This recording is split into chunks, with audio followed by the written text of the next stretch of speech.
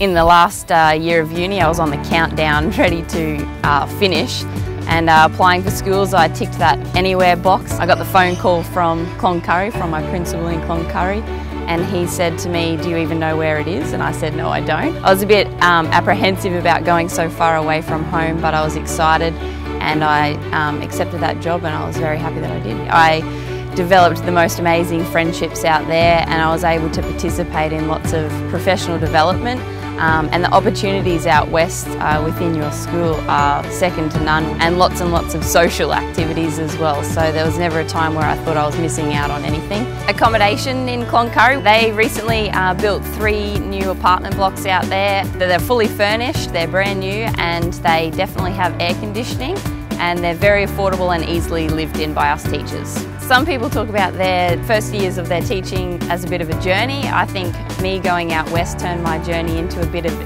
an adventure. Um, it challenged me with becoming a teacher, it challenged my direction as a teacher and it also challenged my social ability out there as well and I'm very glad that I did it and I would recommend it to anybody.